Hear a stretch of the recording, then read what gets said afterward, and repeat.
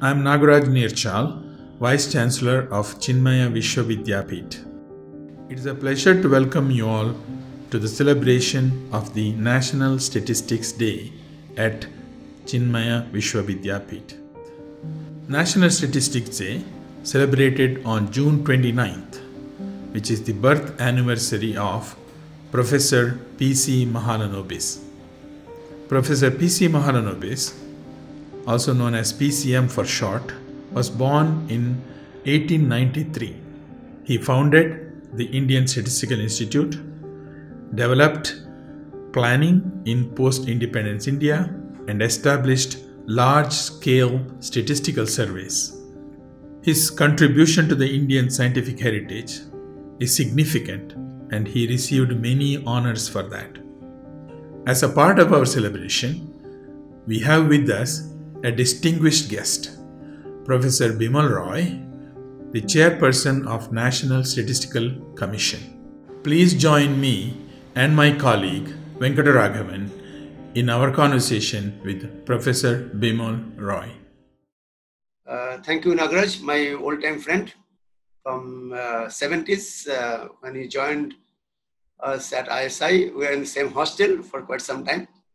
Uh, and I'm happy to see him back to India and leading uh, a very different mission now. Okay, I, I hope he succeeds. And I also got a new role for first one year, the chairman of the National Statistical Commission. So I'll be putting my message as the chairman of the commission. So what we are doing uh, from the government end. Uh, two things I think I'll try to emphasize.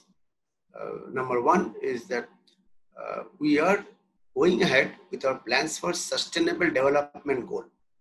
So when uh, Modi ji government um, took charge in 2014, in 2015, um, they have developed uh, a certain number of sustainable development goals in the line of the UN recommendations.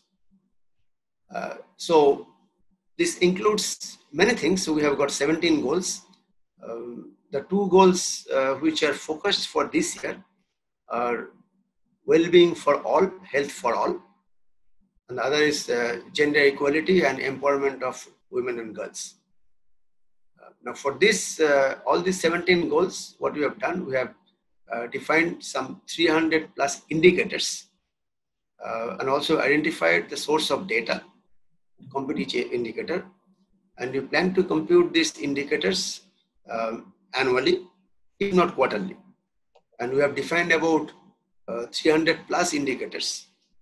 And we have also formed, formed an NIF, National Indicators Framework. So we are uh, evaluating this, we are doing this uh, regularly. I'll just try to focus on these two. Um, I think the importance, I think uh, all are important, but these two are uh, this year's focus. One is the SDG 3, which is well-being and health for all. Now here we are trying to, uh, well, we have we already developed the indicators. We are trying to compute and publish uh, at least every year uh, parameters like um, infant mortality rate, under five mortality rate, neonatal mortality rate, uh, and then the number of malaria infections, the percentage of cures of the infected malaria. So we have defined disease. And likewise, we have defined about 42 such indicators. And if these indicators go beyond the threshold, that means we are doing good. Uh, we have set up our tar target, uh, but naturally, uh, our target is to reach in by 2030. So we are taking 15 years, started only in 2015. I won't say the improvement is very great, but we are slowly, slowly, slowly moving upward. And then whatever we find, the indicators, we send it back to Ministry of Health, at least for SDG 3. So they have to do some intervention to improve the uh, this, uh, this indicator. And the other thing is that um, uh, that we are putting emphasis for this year, this particular year, the SDG 5, which talks about gender equality and empowerment of women and uh, girls. So here, few things are very important. Number one, number of criminal offenses against women. Now, this is, uh, uh, well, going down, but not to the extent that we love to. And also, what is uh, an issue when you talk to National Crime Research Bureau, that often the ladies are not very at home or easy to put a police complaint. So many of these complaints get unregistered. So there has to be a focus from the Ministry of Home Affairs uh, to impress the ladies that if any offense takes place, please do report. Otherwise, uh, this decrease in number, which normally the educated uh, ladies do, doesn't give a clear picture. So that has been our challenge, but we are improving nevertheless. Uh, another thing that we would like to improve, but uh, it's not happening as of today. Our target is that uh, at least one third of the government officers should be ladies. At least one third of the legislatures, like MLAs and MPs, should be ladies, if not half. Now we are still at the level of 14 15 percent. And from 2015 to 2019, we didn't really improve in that aspect. But that's, that's basically a political decision. Um, and uh, for the officer recruitment, we cannot be biased that we have to recruit um, women even if they don't qualify. So we will be setting up different assistance or even support system for the ladies so that they can compete and they can cross this uh, national level exams or state level exams and they can also become officers. And as to the legislatures, uh, the political decision. So the political parties have to take initiative, but we are constantly bringing out this data to them. So I'll complete uh, my SDG goals here. And the other thing that we have uh, seriously thought of, we will be completely transparent with our data. So fact, I personally had a meeting with our Honorable Prime Minister, one-on-one, uh, Modi ji, and he is convinced that uh, there's nothing to hide. Uh, but there are certain issues of privacy of security. So what we agreed upon that there are certain data which are of national security interest that cannot be published by, by any means. But all other data uh, should be published in a fashion that privacy is not compromised. Privacy is a very important issue. In fact, here we are taking the help of statistics, um, statistical models. So how do we publish data after appropriately anonymizing it? So we did form a national level committee to how to anonymize the data uh, so that the data is put in public domain, privacy is not compromised. The committee has just given the report and I'll be sending it to the Prime Minister and hopefully um, in a year or so, we'll see that every data you want to know, you can get in the public domain, but no, no private information. So what we have done in this one, uh, the committee was basically consisting of ISI professors and some government statistical officers what they're trying to do, they're trying to, uh, you know, we say, obfuscate the data in such a way that the statistical properties are not lost, yet privacy is not compromised. You have to give a proof. The probability of you guessing uh, that this uh, data belong to Nagaraj or uh, someone else is less than some, some given epsilon. So this kind of analytical things we have done and the report is ready. So if we can do it, so this will be a success in, in our goal. And I'm pretty sure PC Mahalanobis you were, if you were alive, would love to see these things. Okay, thank you. So thank you, thank you, Bimal. That is very, very kind of you and uh, taking time even on a Sunday. I must add. No, that's okay.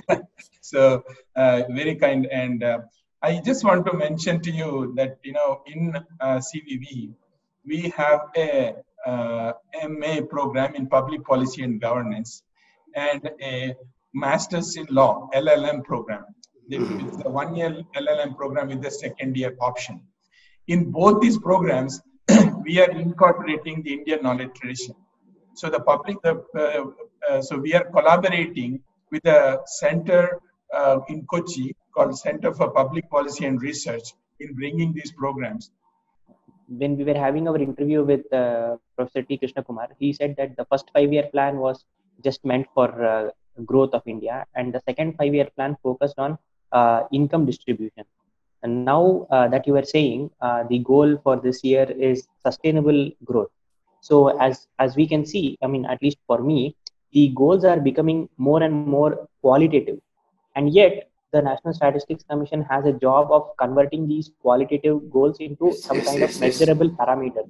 So, uh, if that is the case, uh, how do you see statistics uh, today now? Because more and more you are you are being asked to measure things which are non-measurable. So, how do you uh, think statistics has changed? No, no, I- no. I, I, I think uh, that our main challenge uh, uh, at this uh, on national level, the national level scenario, is that um, we are committed to sustainable development goals, and we have, we have to come out with a proper measure.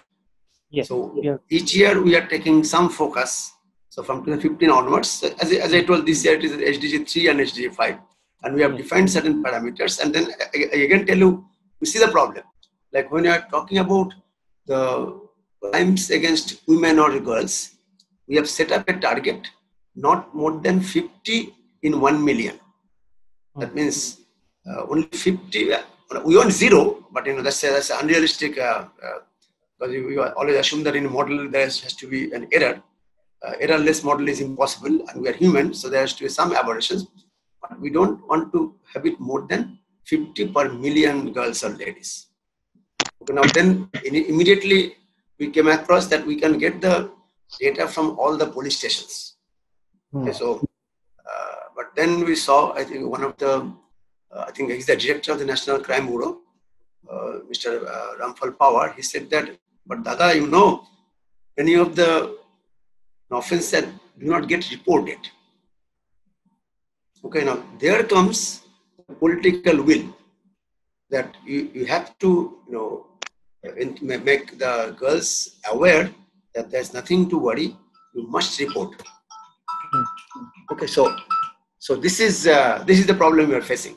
So for each of these uh, indicators, that we have different indicators, and we are trying to compute it. And again, we are getting uh, uh, something very abstract. We're trying to give a measure and an index. So the people will look at the index, will understand. Now, what I'm telling that if we want um, infant mortality rate down to uh, 12 per 10,000. So, so we, we don't expect our health system to improve in such a way that uh, there will be no death uh, of, uh, of infant within one year. But we are trying to improve the scenario in such a way that we don't want more than 12 deaths per 10,000 children who are below one uh, infant mortality. Now, this is a good indicator. So if you know that uh, this year it is 25 and next year we are getting 23, that means we are improving. Hmm. Now, our, our goal is to achieve all these things by 2030. So the government set up the, we have defined the indicators, government set up the goal and we're working it. And as you said, this is a challenge. We have to understand the domain more specifically. There's a problem mostly with the statisticians.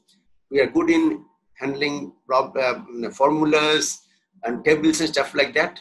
Unless you under the, understand the domain very appropriately, working on that domain, which sometimes may remain very vague, and you have to Mm. put some, you know, some uh, some flesh and blood there, so, so that people can understand what we are doing. So this is a challenge, and this was not the case, uh, say in 1950s or 60s. That time Yes, still we are yes, developing the subject, the statistical system. So now that we have developed and reached up to some extent, now we're trying to expand, and we are facing our own problem. Anyhow, but, Yeah. but we're trying to resolve it. And uh, the second question is, as you were saying, uh, you are trying to put this data out in the public domain so that everyone Yes, can. yes, yes, yes. But then, uh, for this to happen uh, and for this to be really successful, people must know how to read and understand and interpret statistics, isn't it? yes, yes, So yes. For true. that, do you take up any initiatives for statistical literacy in our country? Uh, uh, Yeah, so uh, yeah, yeah, so yeah, you- you're right. Uh, uh, good question. So, so it goes step by step. First thing is that the government has accepted a policy that unless there is some national security issues, we will be fully transparent. And this I told you, our Prime Minister agreed to that. So he's, he's, he's also interested about that. So the first step that we agree to this. Second step, there are issues of uh, confidentiality and privacy. So this cannot be compromised. yes. Okay, second one. So now what we are doing, we are trying to see how can we publish the data in such a way that these are not compromised, yet um, all the information is there. So this is this very is what we call we are using statistical thing. Um, okay, that, there will be follow-up steps one by one. So once you do this, and then naturally what you told, how do how does how do people search such thing? Say, suppose you want to know um, how many uh, what is the un- unemployment rate in a in a in a block in in such a uh, district of UP. Mhm. So how does one search it? So there has to be a backend training module, and there should be a backend. You know, I, I don't know. Most of these uh, nice softwares, uh, like say Python and etc., they have a backend. They have a support systems. If you have any problem, you can put them a question, and they, they reply you back. So we have to develop um, a parallel system in the government where people will be giving guidelines. So by this, you should be able to search. But if, if you fail, or if you fail to understand that guideline, then you should be able to send a mail, and there should be either a mail answer or even a phone call back, and telling that this is how you should search things. You have to set up this infrastructure also. So we're targeting next. Um, I think Modiji told that before his uh, regime is over, he would like to put in practice. Uh, so this current regime may continue for another five years, but this is so one year is over. So we are there. A statistical development of how to you know, anonymize and obfuscate data so that it can be safely published without Hmm. compromising privacy confidentiality. Next step would be we have to actually make a document for the people how they can actually uh, look into this uh, this database. We have to develop our own search engine. And then we have to also develop a backend support team where people can uh, contact if they, they cannot use a search engine appropriately. Hmm. So, These are all, all, all follow-up actions. Bimal, I think uh, a follow up on this one is that uh, so um, the current bill uh, does not really say anything about this. No, So, no, no, no, no. It's, it's, it's step by step. It comes step by step. so based on step. the committee report, do you expect a revision or? Uh, Yeah, I, I, I do expect. I do expect something new will come up.